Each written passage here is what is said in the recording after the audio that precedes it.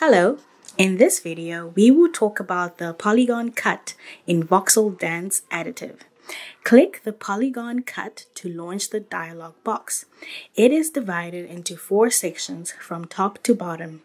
Selection, Type, Options, and Advanced Standard View options. In selection, you can decide if all parts or only the selected parts on the platform will be cut. You can decide the shape of the polygon. In the type section, you can set its shape to a polygon, a circle, or a rectangle.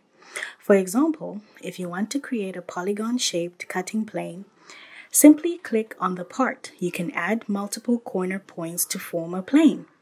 Once the polygon plane is created, you can change its shape or position by dragging any of the points or right-click to remove any unnecessary ones. You can make the cutting plane with round corners by checking the rounded corners option. You can also generate an offset polygon by playing around the parameters in the clearance section. After the polygon created, you may want to add teeth to it. VoxelDance Additive provides jagged, dovetailed, and puzzle-shaped teeth for users to choose. Click on the cutting line that needs to add teeth and click Apply to complete. Note that the teeth settings are independent on each cutting line.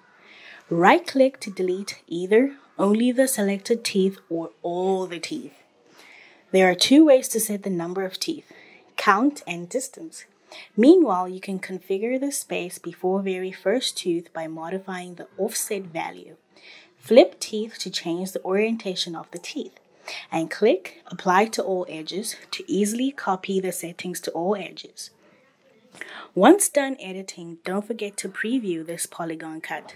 You can exit the preview if not satisfied with the result and reset to remove all changes. You can decide whether to keep or remove the original part after cutting in the options section. Once all settings done, click OK to cut the part.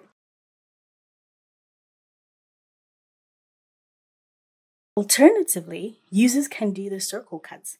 You can set the radius, tolerance, notches, and clearance of the circle. Since the circle is expressed by polygonal approximation, the smaller the tolerance, the closer the drawn circle is to a real circle. Drag the center of the circle to move. Drag the edge of the circle to change its size. You can preview before cutting and click OK to start cutting if you're okay with the preview.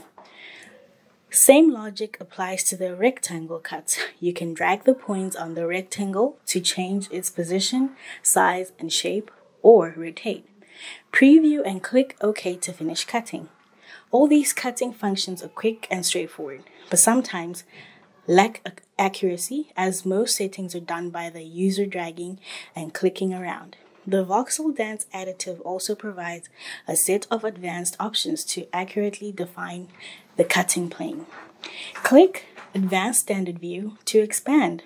To enable this section, you need to first click one of the six standard view angles. Take front view as an example. Check the cut till y equals. Set the number so that the part will only be cut to a specified y-axis value.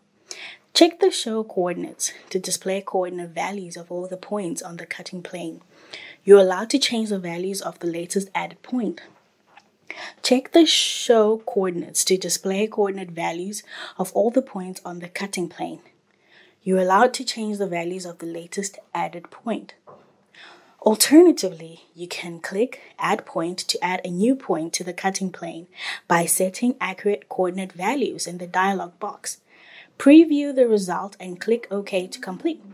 You may notice that it is not the cutting through the entire part, but only cut to a specified depth predefined by you.